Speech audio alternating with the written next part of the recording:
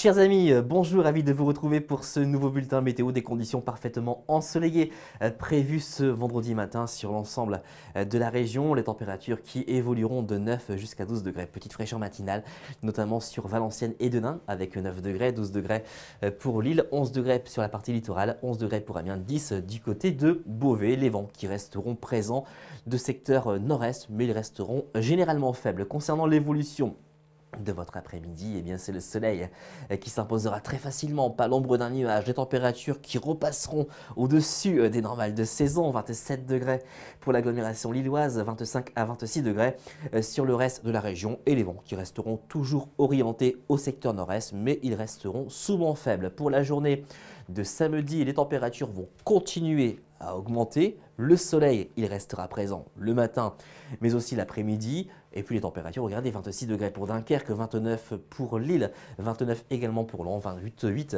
pour Berck-sur-Mer ou encore pour le Touquet. Et puis pour la journée de dimanche, eh bien, ça continue à s'envoler. 32 hein. degrés euh, en moyenne pour Lille, 31 pour Amiens, 30 degrés euh, sur la côte d'Opale. Côté ciel, vous l'aurez remarqué, c'est le soleil qui s'imposera du matin jusqu'au soir. Et si la tendance météo se confirme, ce beau temps pourrait persister entre lundi et mercredi prochain, avec toujours des températures voisines de 30 degrés, aussi bien dans les terres que sur le bord de mer. En ce vendredi 23 août, nous perdons quelques minutes d'ensoleillement. Je vous souhaite une excellente journée et je vous dis à très bientôt.